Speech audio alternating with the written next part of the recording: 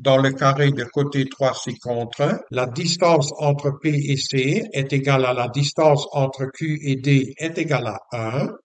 Et la question c'est, que vaut la tangente de l'angle AQP? Selon ces données, nous coupons tous les côtés du carré en trois segments de même longueur.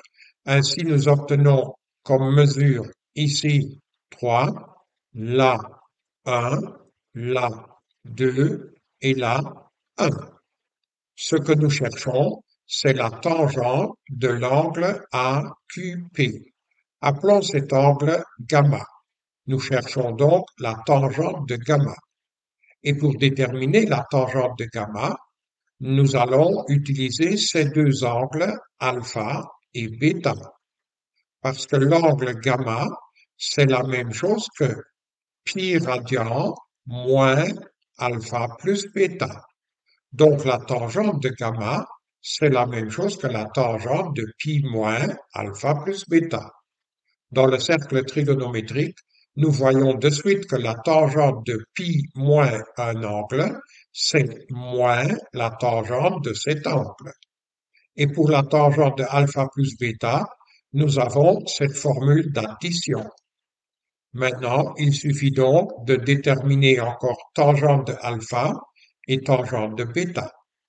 Dans ce triangle rectangle brun, nous voyons que la tangente de alpha est égale à la longueur du côté opposé, c'est-à-dire 3, divisé par la longueur du côté adjacent, c'est-à-dire 1.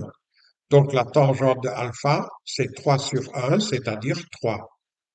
Dans ce triangle QCP magenta, qui est également rectangle, nous voyons que la tangente de bêta est égale au côté opposé 1 divisé par le côté adjacent 2. Donc la tangente de bêta vaut 1 demi. Dans cette fraction, nous remplaçons donc tangente de alpha là et là par 3 et nous remplaçons la tangente de bêta là et là par 1 demi, ce qui nous mène vers ce calcul-là. Cette fraction se calcule facilement et donne moins 7. Avec le moins devant, ça donne donc 7. Donc, la réponse finale à la question posée étant 7, c'est le D.